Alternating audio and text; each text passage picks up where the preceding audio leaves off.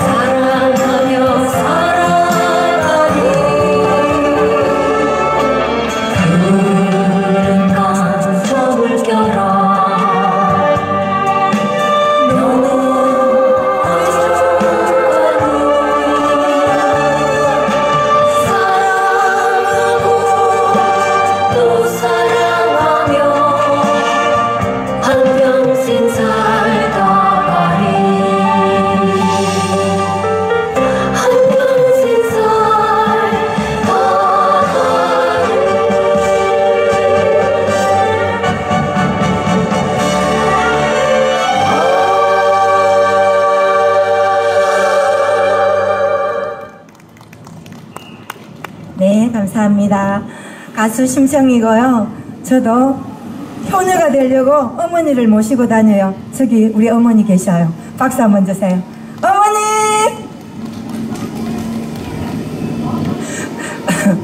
다음 노래는요. 제 노래 타이틀곡인데요. 바쁜 여자라는 곡인데요.